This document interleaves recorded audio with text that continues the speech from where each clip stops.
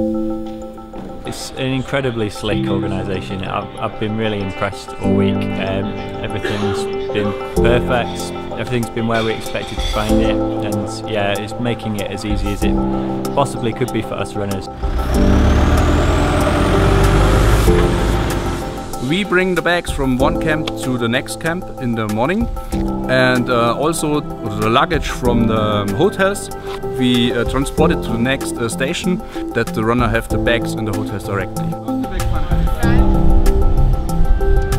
The most important thing is in the morning when all the exhibitors, all the partners and sponsors are coming and we make the setup for the expo area and also for the finish. At the moment I'm really tired because um, today the runners start at 7 o'clock in the morning and we always have to get up about two or two and a half hours earlier.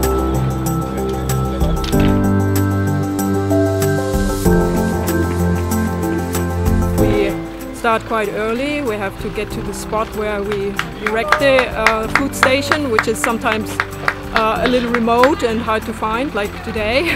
The aim is to to make the runners happy, um, that they don't need to care about anything and just uh, get what they need and uh, can just focus on the running.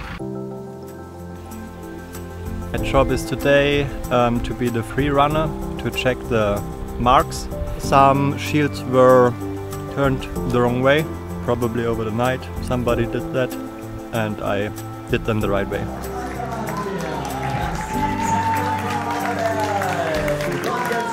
the biggest challenge is um, that everybody is happy, to make everybody happy, that uh, the participants only have to run and we do uh, all the things in the background to make them happy.